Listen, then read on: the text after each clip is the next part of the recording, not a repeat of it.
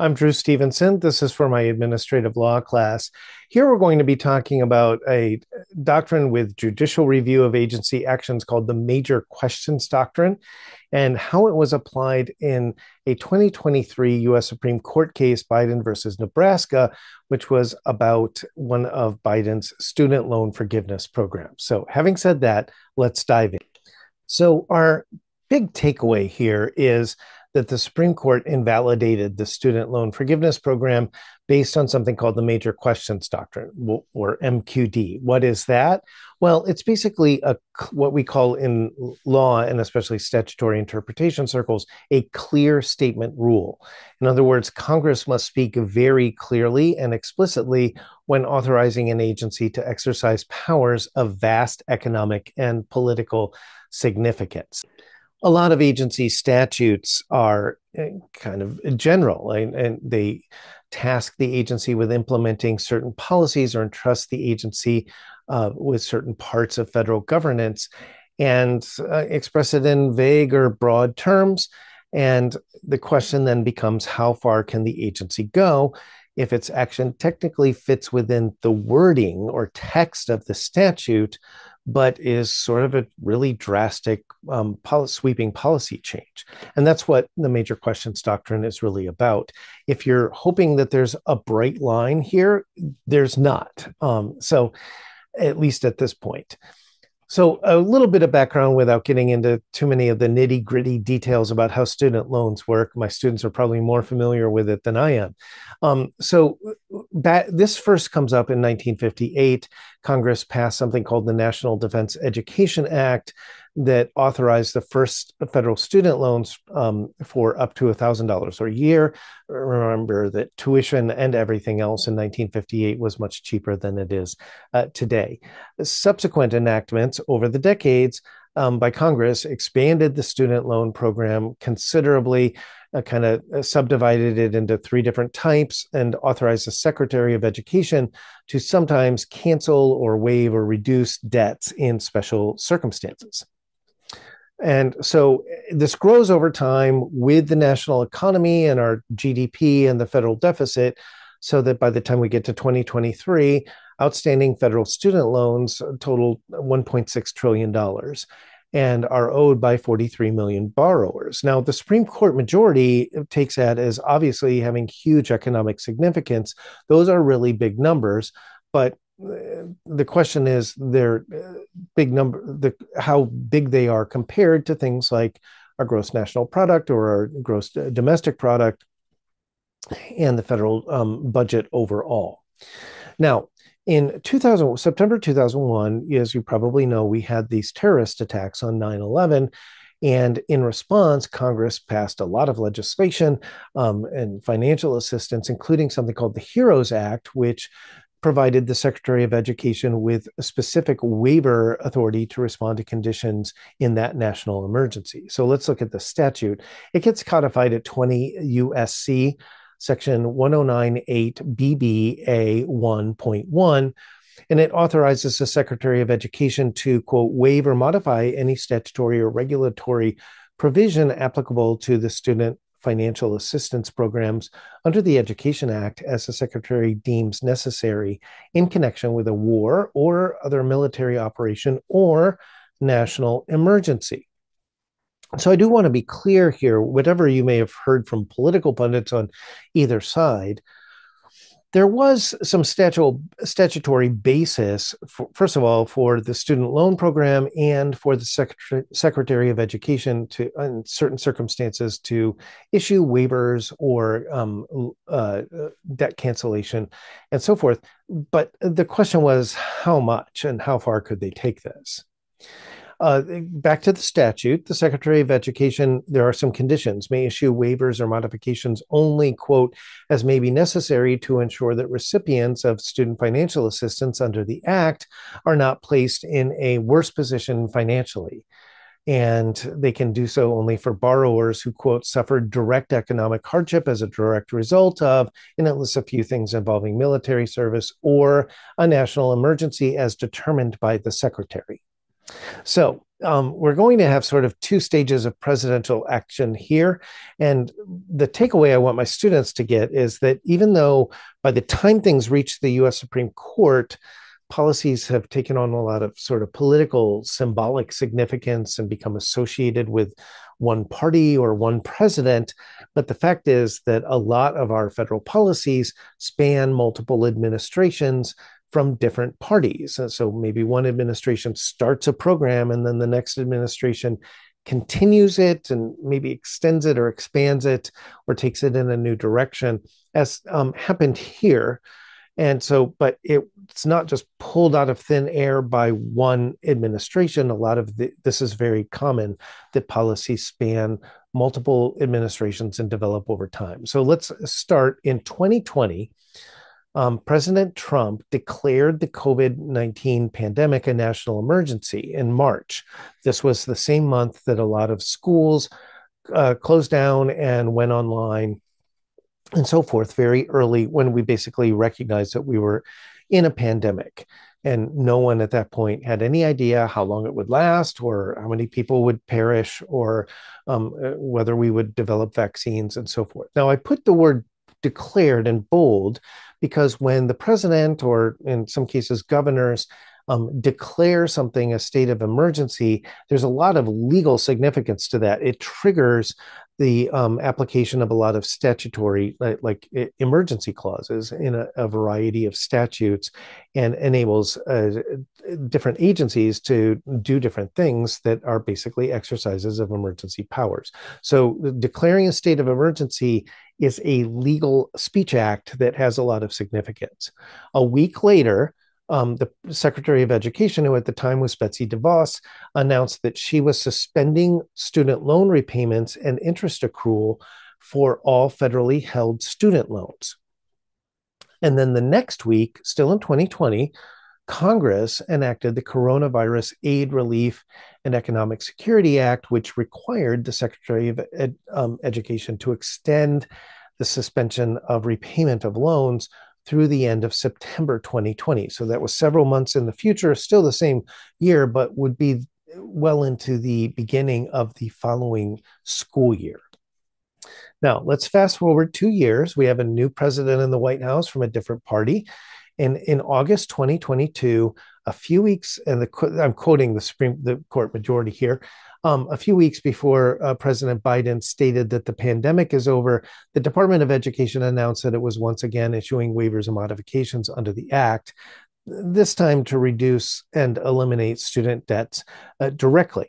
Now, uh, this was uh, something that Biden had, had been a campaign promise. He had campaigned on student debt relief or loan forgiveness and so forth.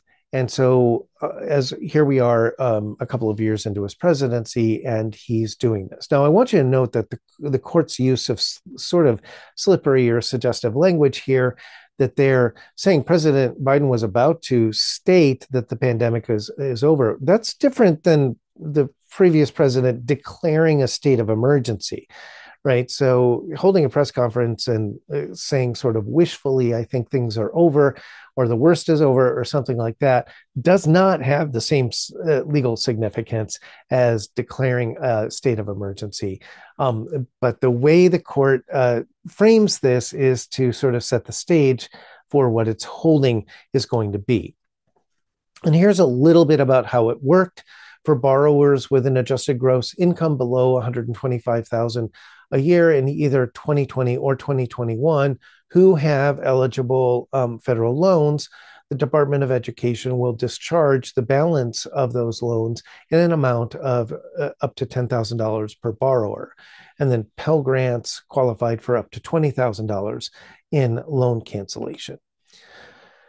Um, the Supreme Court, here's a couple quotes from the majority opinion. The Secretary's past actions under the Act were much narrower and did not involve mass debt uh, cancellations. That's true.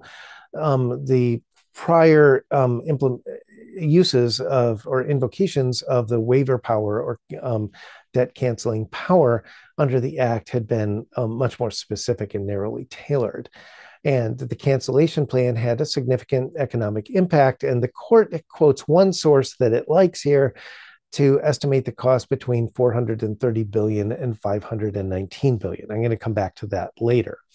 So, this economic magnitude raised concerns about the balance of power between the legislative and executive branches.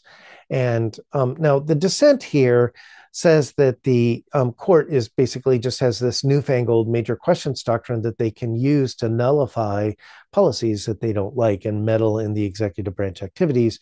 And that kind of puts the majority uh, um, on the defensive. And so they explain that there have actually been a lot of major questions doctrine cases from all corners of the administrative state. And I'm highlighting that for my students so that you understand that in recent years, this has become a big deal in administrative law and is now something that everybody who studies administrative law needs to know about and um, understand.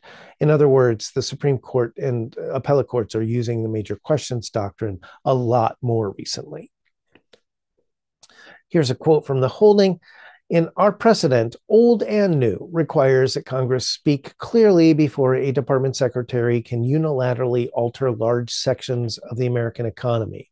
We expect Congress to speak clearly when authorizing an agency to exercise powers of vast economic and political significance. That's a nice quote articulating the major questions doctrine, the gist of the major questions doctrine, at least as it stood in 2023. I pulled out another um, quote to kind of highlight from the opinion.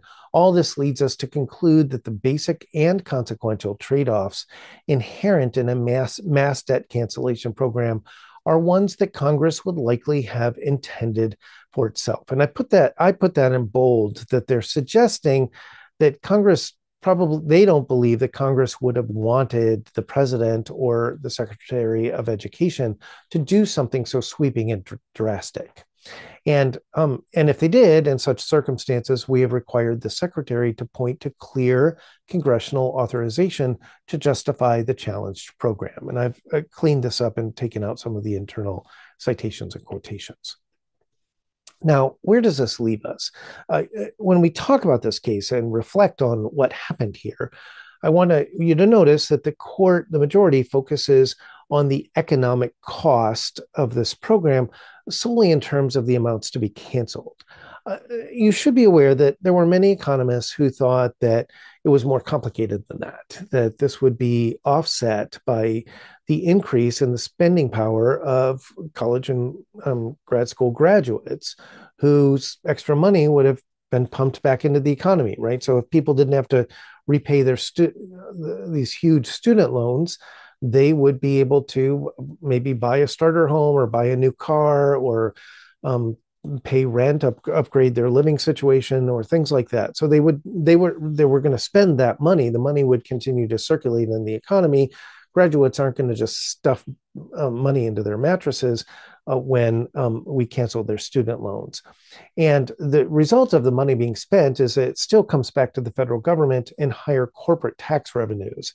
And um, and so some economists actually thought that the program would be a net positive in the long run for the federal uh, budget, even though in the short run you're canceling debt.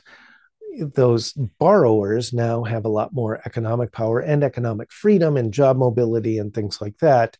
And so it could actually uh, really stimulate and help the economy and then that in turn should, um, raises tax revenues. That that was the argument, and I'm probably not going to convince you one way or another in this short video, but you should be aware that there are pretty sophisticated economic arguments on both sides about this.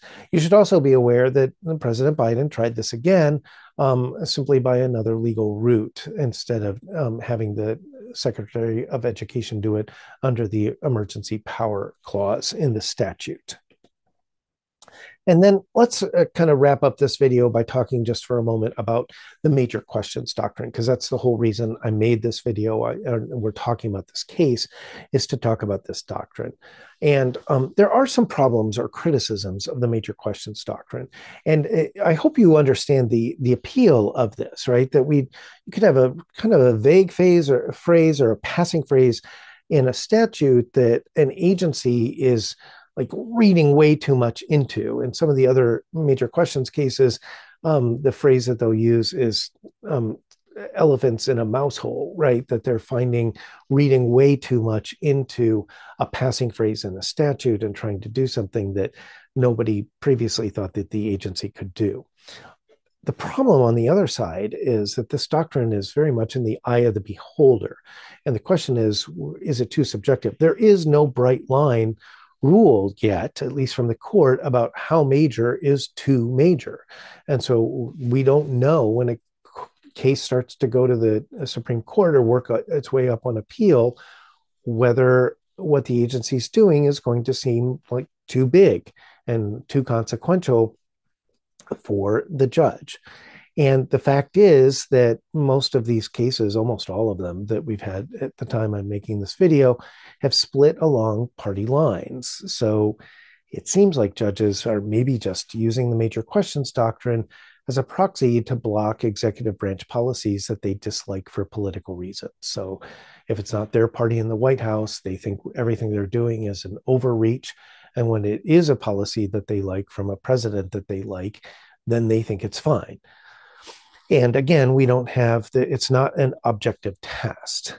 Um, and also keep in mind that despite the court's rhetoric that it's sort of all up to them to protect the separation of powers and um, and uh, guard against executive branch overreach, the fact is, if Congress disapproves of an agency action, it can quickly nullify it under the Congressional Review Act as long as they can get a streamlined resolution through both houses and get it signed by the president. And they do that a lot, right? They've they've done that um, many times in the last few Congresses, where they have negated an agency, a specific agency action they didn't like. So if Congress didn't like this, they could call a vote in the House and in the Senate, and um, and basically say you can't do that to the agency. So if Congress has the power to police this? Why do the courts have to meddle in it or um, put themselves in the position of doing so? And that concludes